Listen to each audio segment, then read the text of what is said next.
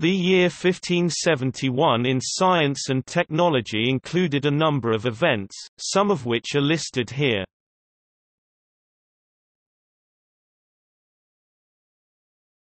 Topic: Mathematics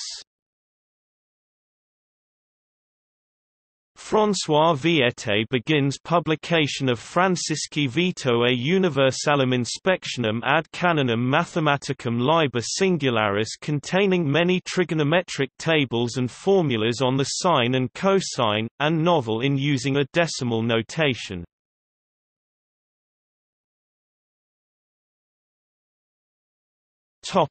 Medicine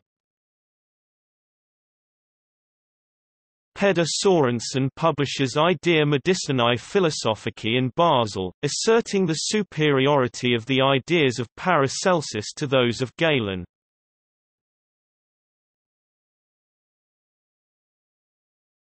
Topic: Technology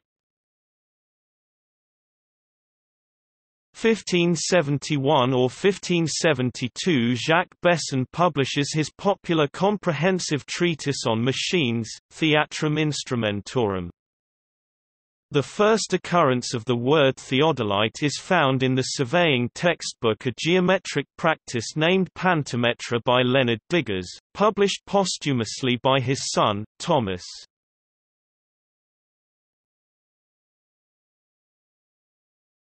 Topic: Births. December 9 Metius, Dutch mathematician, died 1635. December 27 Johannes Kepler, German astronomer, died 1630. Willem Blaeu, Dutch cartographer, died 1638. Frederick de Houtman, Dutch explorer, died 1627. Topic: Deaths. Bartolomeo Maranta, Italian physician and botanist, born c. 1500.